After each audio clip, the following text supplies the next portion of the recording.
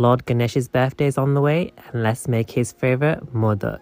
I'm making the fried kind here and what you need is some fresh coconut. Lightly toast your coconut in some ghee and you only need to do this for like 1 to 2 minutes until you get a nice smell. Then add in your jaggery. Whatever amount of coconut you're using, use half the amount of jaggery. Once melted, add in your cardamom powder and poppy seeds to your taste. Then leave that to cool down to room temperature. For the dough, I'm using plain flour, oil and warm water. You want to make a soft dough but pliable and it should end up looking something like this. Roll these out about 3 to 3.5 inches and place a ball of the cool down mixture in the middle and you're going to create some pleats and pull these up to the middle and you'll get the traditional modak shape. Fry these on medium to low heat and you want these to become lightly golden. Some of the jaggery might come out but it'll just leave a lovely glaze over the modaks. And if you don't like coconut, I promise you, you'll love these. Bye!